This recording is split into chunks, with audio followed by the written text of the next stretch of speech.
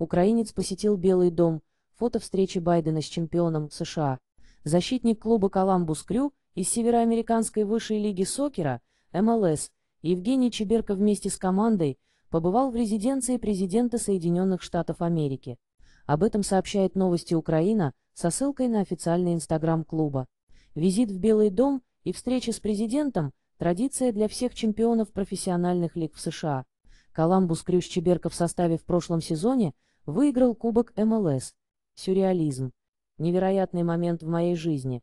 Я никогда не думал об этом, но жизнь снова показывает, насколько она непредсказуема и невероятна, эмоционально отреагировал Чеберка на события в личном Инстаграм, добавив, что никогда об этом не забудет. В текущем сезоне «Коламбус», защищающий чемпионский титул, финишировал в регулярном сезоне на втором месте в Восточной конференции.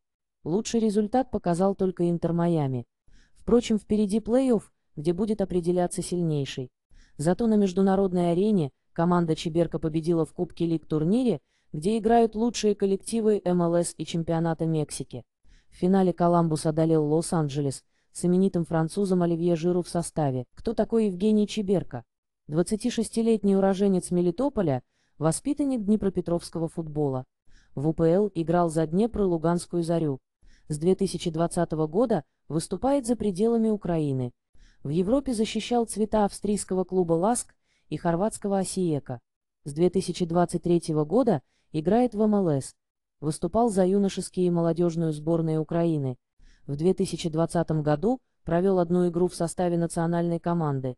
К слову, раньше писали, за кого болеет Камала Гаррис и как она по-спортивному согрешила.